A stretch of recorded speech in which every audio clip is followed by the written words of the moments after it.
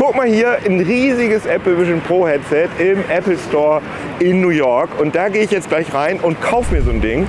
Denn das Ding macht ja einen Hype sondergleichen. James Cameron hat gesagt, es sei ein religiöses Erlebnis gewesen, dieses Headset zum ersten Mal aufzusetzen. Und ich habe auch in einem Artikel gelesen, dass eine Erschütterung im Universum zu spüren ist, wegen dieses Headsets. Und alle Leute fragen sich halt, hat das das Potenzial, die Welt so zu verändern? Auch.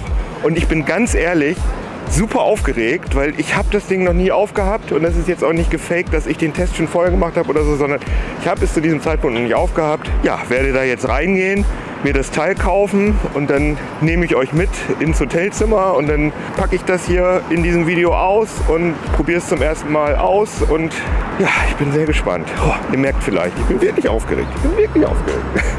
Bleibt dran. Liebe Hackerinnen, liebe Internetsurfer, herzlich willkommen hierbei.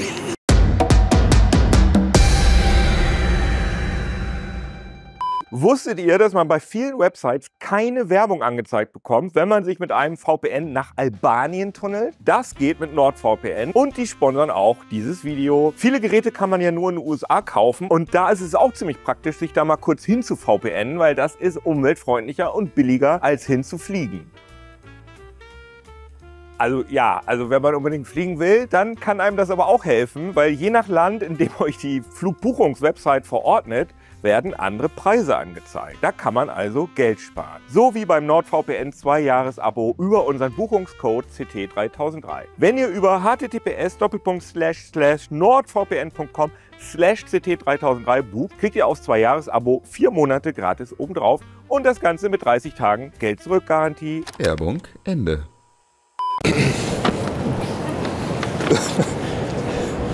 Ja, ich habe jetzt hier ein bisschen eingeshoppt, habe hier noch ein paar Zubehörsachen gekauft und ähm, laufe jetzt mit meinen Taschen durch Manhattan, weil was soll denn passieren? Das ist ja total unauffällig, weiß doch keiner, was da drin ist. Ist nur meine alte Wäsche. Ich bin jetzt in meinem Hotel angekommen aus dem Apple Store und habe hier meine tolle Apple-Tüte. Und ich werde das schöne Stück jetzt mal auspacken. Hm. Hier diese schöne Reißleine.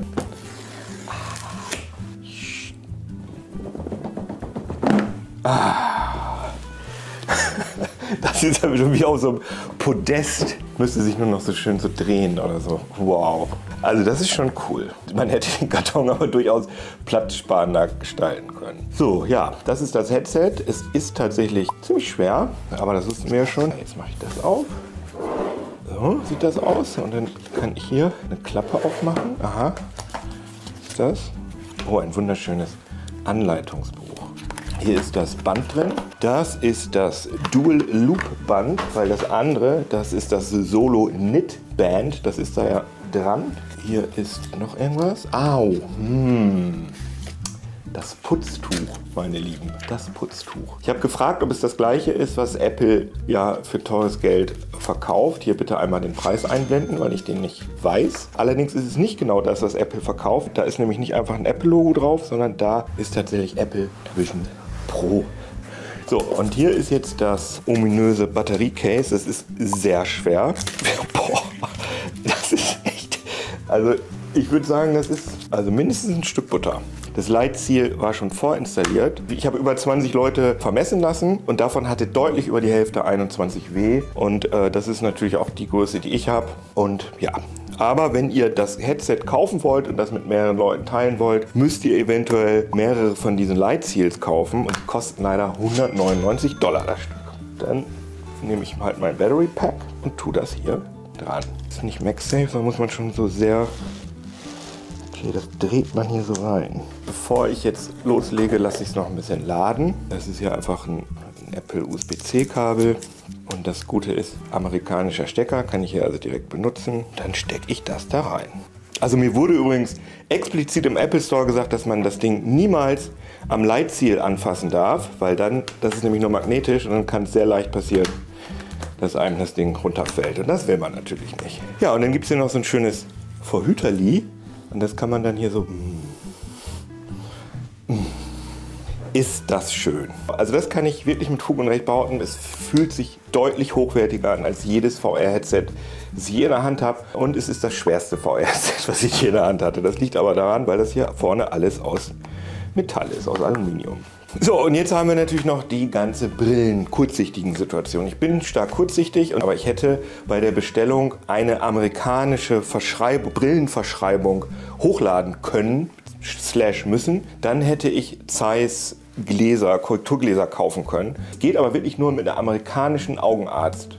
Rezeptverordnung. Ich mache mir jetzt meine Kontaktlinsen rein, die ich mir extra dafür gekauft habe, weil ich eigentlich keine Kontaktlinsen mag. Aber gut, was tut man nicht? Was tut man nicht alles? Ja, die eine ist drin. Ja. So, Kontaktlinsen sind drin. Der große Moment. Ich gucke das erste Mal in das magische Headset.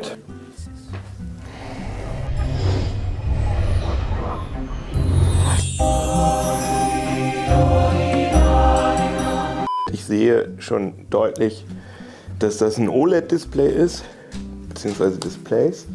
Mich nervt jetzt schon das Kabel, weil es so an meinem Ohr irgendwie rum. Egal, lege ich mir jetzt mal so. Oh wow, jetzt muss ich diesen Knopf drücken, um. Ah ja, um das Pupillentracking zu machen. Okay, jetzt kam büb, büb, so, ein, so ein Häkchen. Oh, jetzt, ah!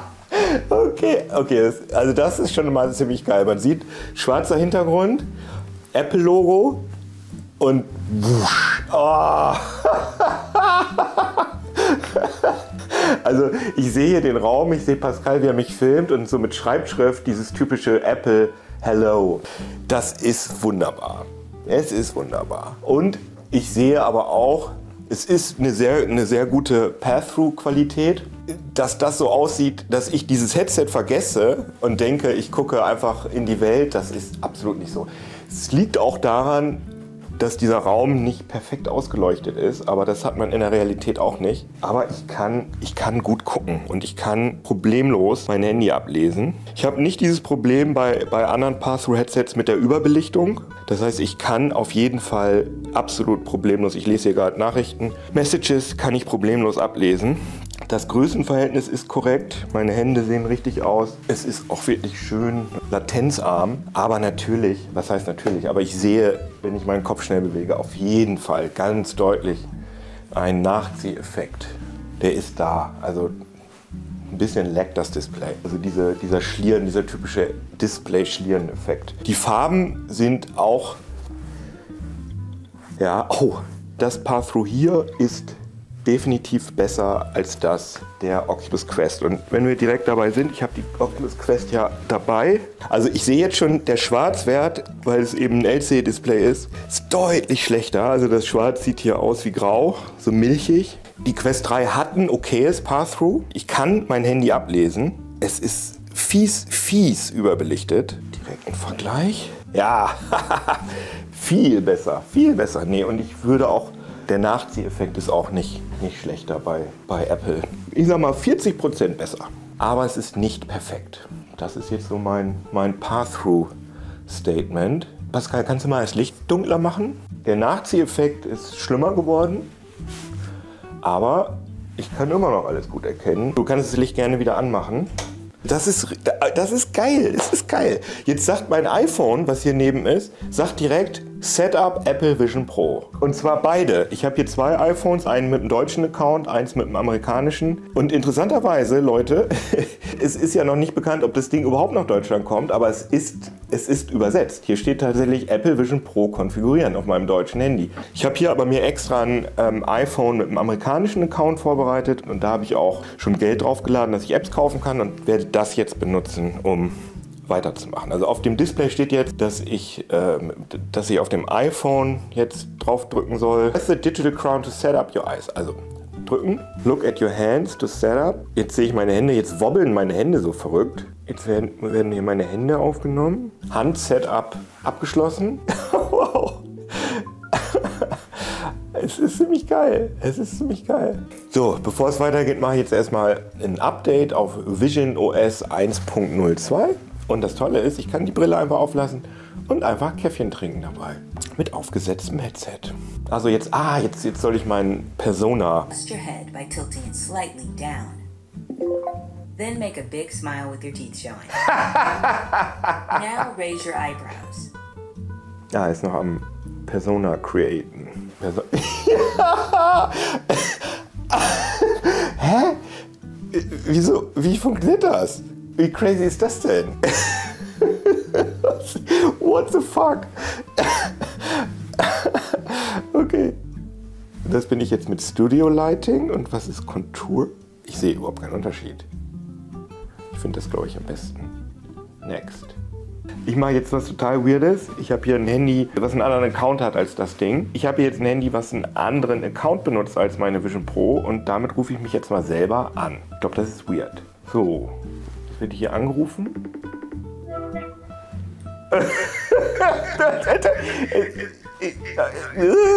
Warum ist das so weird?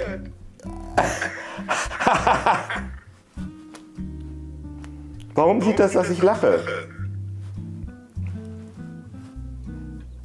Warum sieht es das? Ich verstehe das nicht.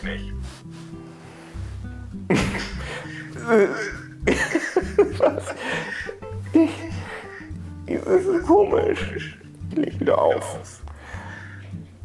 Es gibt eine äh, tatsächlich eine YouTube-App, eine inoffizielle, die heißt Juno und ähm, die habe ich jetzt mal geöffnet. Guck mir mal die Videos von unserem kleinen Nachbarschaftschannel an. Und es funktioniert gut. Schwebt dann hier halt so ein, so ein Video im Raum. Was mich die ganze Zeit schon interessiert, funktioniert auch ähm, 180 Grad 3D-Video. Das ist ja das, was man eigentlich haben will. Und das funktioniert nicht. Okay. Das ist nicht 3D, das ist nicht 180 Grad, wird einfach in, als normales 2D-Video angezeigt. Oder ich mache was falsch. Ich mache das Video mal ganz groß. Ne, es wird auch nicht räumlich. Schade.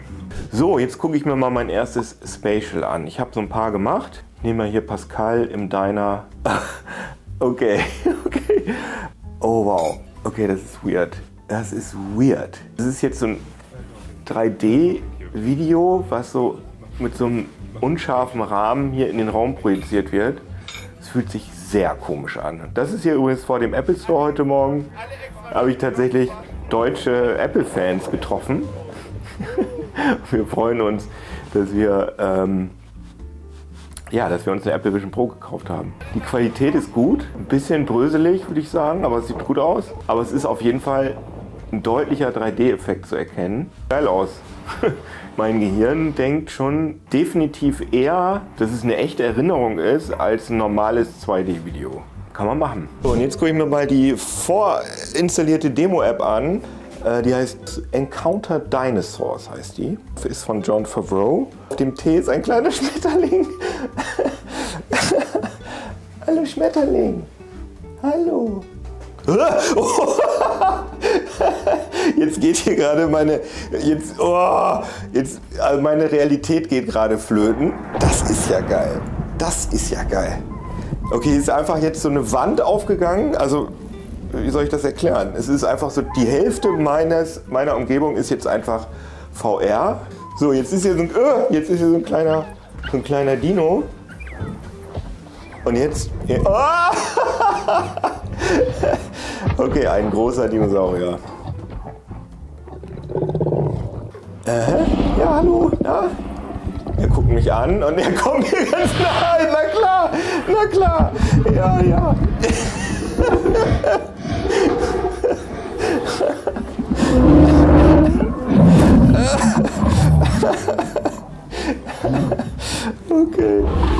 Ich habe wirklich, ich habe ja ungefähr jedes VR-Headset schon ausprobiert. Und das ist halt sehr, sehr geil. Es ist halt eine sehr, sehr hohe Auflösung. Die Grafikqualität ist super gut. Es ist einfach VR, aber es ist halt super gut. Sieht super gut aus. Ich zeige euch jetzt einmal ganz kurz, wie das ganze Ding funktioniert. Also, ihr habt, drückt einmal auf die Krone und dann habt ihr einfach hier so ein App-Menü, wie auf dem iPad oder so. Und dann könnt ihr einfach mit dem Finger, könnt den Finger auch hier unten haben, könnt ihr so hin und her scrollen. Dann könnt ihr halt Apps starten. bei jedem Fenster, was ihr aufmacht, ich mache jetzt mal ein Browserfenster auf. So, und das Faszinierende daran ist, dass die Bedienung so funktioniert, dass ihr einfach da drauf guckt, was ihr auswählen wollt und dann einfach mit dem Finger schnipst oder einfach die, die Daumen und Zeigefinger zusammen macht. Und dann könnt ihr einfach, ja, dann könnt ihr einfach überall hingucken, wo ihr draufklicken wollt. Also hier zum Beispiel auf der Heise-Seite diesen Artikel, zack, drauf gucken. So, und dann gehe ich, halt, gehe ich halt einfach auf den Artikel drauf, den ich sehen will. Und dann ähm, kommt da der Artikel und dann kann ich einfach so hoch und runter scrollen und wenn ich irgendwo draufklicken will, dann gucke ich da einfach drauf. Also an Apps, Apple TV habe ich, kann ich mir Videos angucken, Fotos, da kann ich mir diese Spatial-Sachen angucken, Mail, Messages, Keynote. Interessant ist noch, unter kompatible Apps sind halt einfach iPad-Apps, die ich installiert habe, die ich benutzen kann. Das sind dann einfach halt 2D-Fenster, die in meinem 3D-Raum dann rumschweben und die ich mir einfach größer und kleiner machen kann, indem ich hier auf die Ecke gucke und die dann so größer und kleiner mache. Und wenn ich da unten hingucke, dann kann ich sie mir auch hier so im Raum verteilen und die bleiben dann da auch. Die erkennt ja den Raum. Damit kann ich mit dem X kann ich sie zumachen.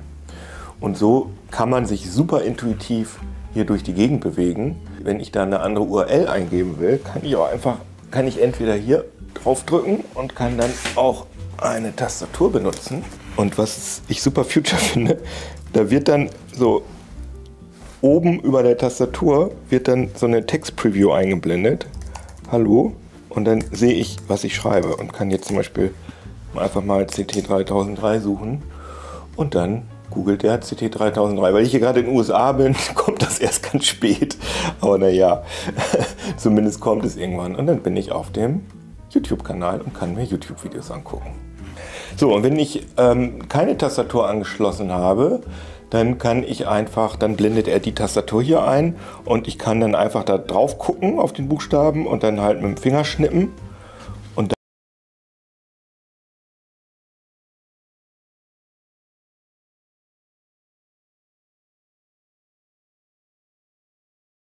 dann drum rumtippen. Das funktioniert auch. Was noch interessant ist, ich kann hier mit der Krone die Realität ein- und ausblenden habe jetzt so eine schöne Schneelandschaft in meiner Umgebung und kann mir so graduell die Realität, die unaufgeräumte, wieder reinmachen.